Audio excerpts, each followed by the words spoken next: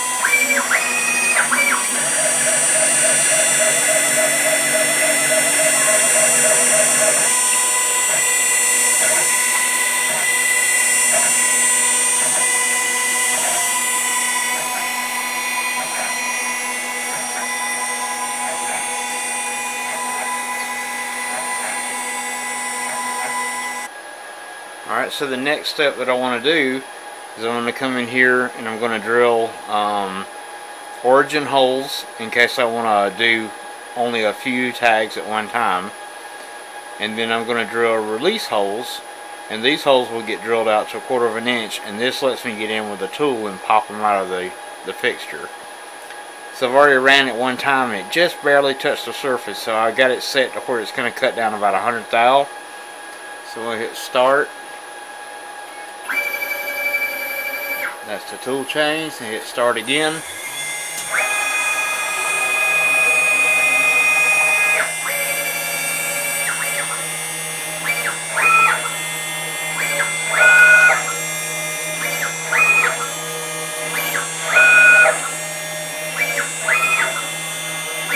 When it gets done, I'll take this off and I can just manually drill these holes, the release holes. These origin holes will stay at that depth.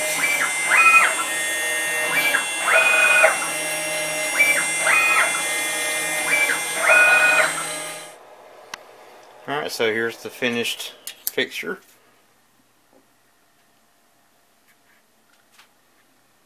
So this gives me 20 work offsets. G54, 55, 56, 57, 58, and so on. And I can take the dog tag drop it in. It sits 60 thou. The pocket is 60 thou. Dog tag's about a millimeter, so it's about 20 thou below the surface. So it's in there and not moving around. You can just about pick it out of there by hand. But the removal hole is there in case you get some that are slightly oversized that fit in kind of tight. You can come in here with a tool and pop them out. So there's the dog tag fixture that holds 20 dog tags. All I have to do is program my work offsets. Each one of these is 2 inches center line to center line apart and from here to here is 3 inches. So I can just go in and program all my work offsets in one, one time and load the program in Fusion. There's a trick in Fusion to do the work offsets and um, while I've got the camera in hand, I'll show you right quick. Okay, I wanted to show you how I'm going to run the fixtures. So imagine I just put uh, a single hole in this tag, but if I had an engraving on here, then this would actually show you how I'm going to get this to make 20 parts. So in the setup, we can go to edit. And on the post processor normally this will be at zero. Change this to one. This one will automatically go to one. Change this to the amount of tags that I'm going to do so it's 20 and then change this operation order order by tool. And when you do that then you come over here and uh, we're going to post the process. Hit OK. And I'm just going to go 1001. Hit save. And we'll replace it. Okay, when the code comes up, you can see there's G54, 55, 56, 57, 58, 59, 59P7, 59P8, and so on and so on. Now, we can change, if we're doing a, a lot of tags, say we're doing two or three hundred, when it does this G28, G91, Z0, this will do a full retract before it goes to the next one. So you can edit this code, and right here, you can change this to where it retracts maybe, you know, half an inch above the part, and that'll help speed up your production runs. We'll show you what it looks like on the machine with the Z0.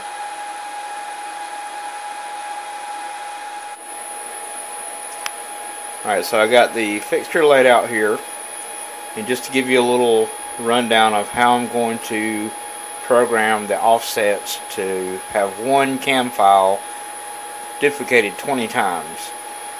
So the center line of each part is 2 inches and then from here to here is 3 inches.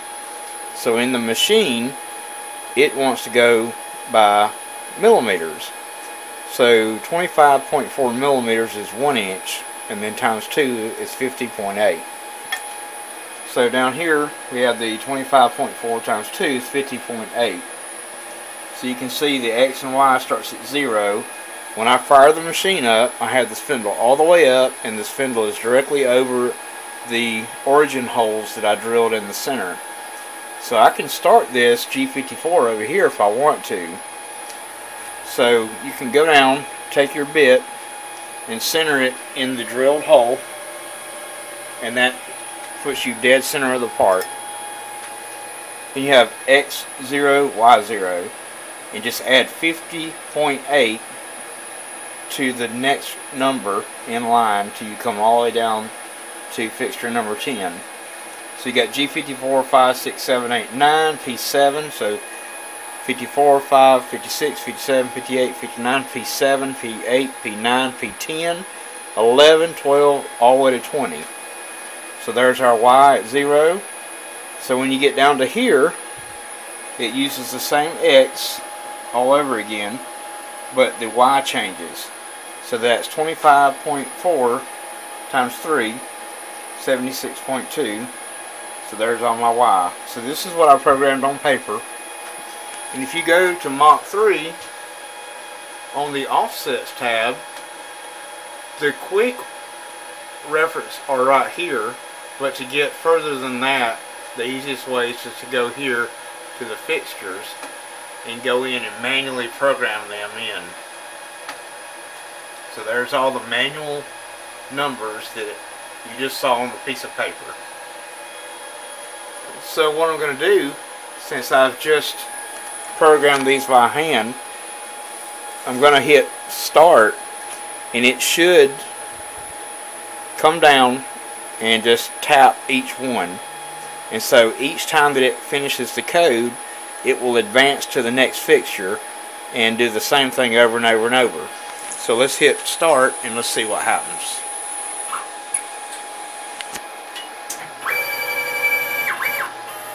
There's 54, 55, 56. Now we can do some code editing to keep the spindle from going all the way up when I'm actually doing tags.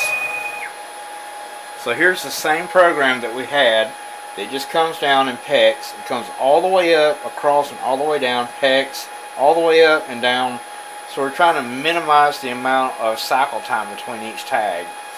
So we deleted the G28, G91, Z, normally it's Z0. So when it finishes, the G28 tells it um, I believe, you know, go back to machine coordinates Z0, which is all the way up, and then it runs the next block, and the next fixture. It comes over, does the whole thing. So let's run this without the, the G28 in the line of code. Okay, we'll hit start. Gonna come on the first one. There we go.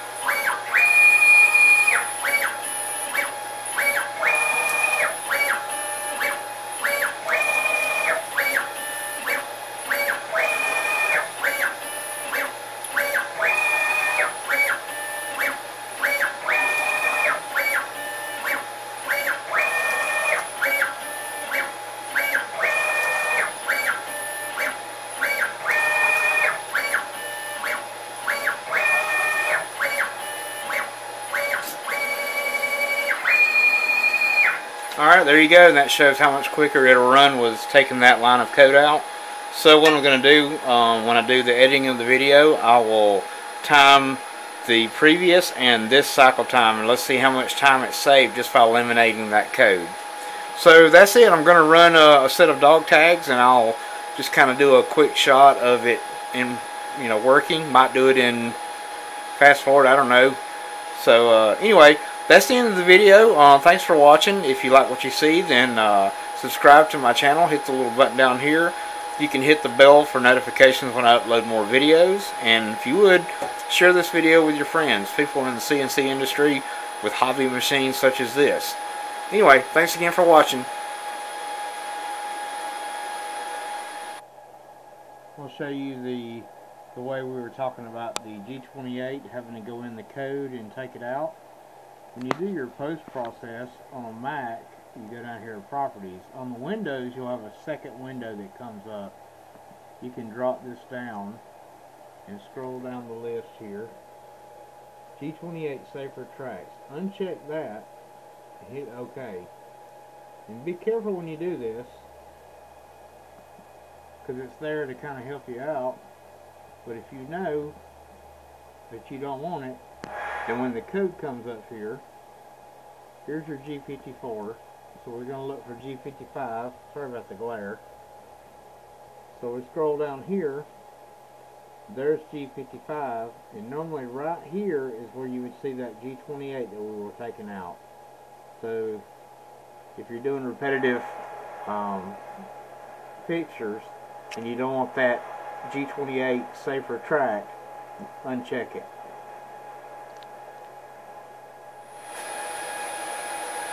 Okay, so we got 20 tags loaded in. I have the Z height set and then I copied and pasted it on the other 19 offsets in the fixtures tab on Mach 3.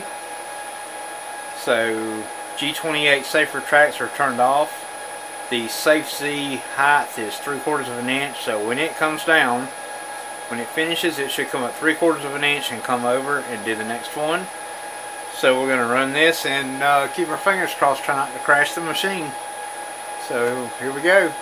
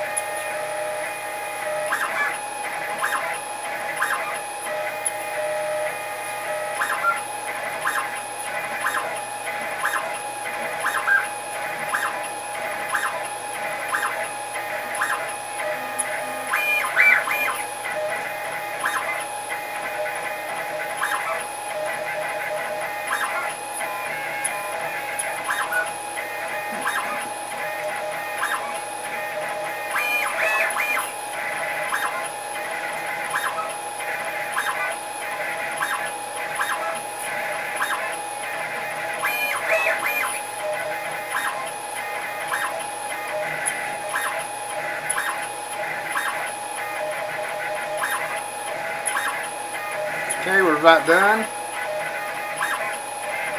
We are at 1 minute and 20 seconds. There it goes to the second one.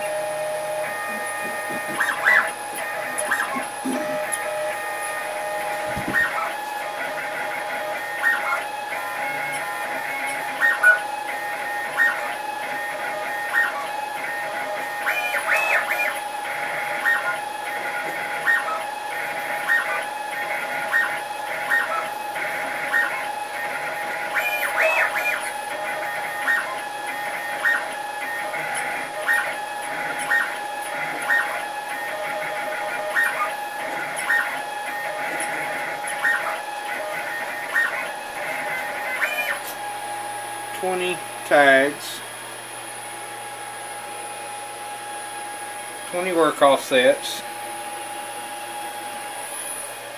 And 26 minutes and 2 seconds.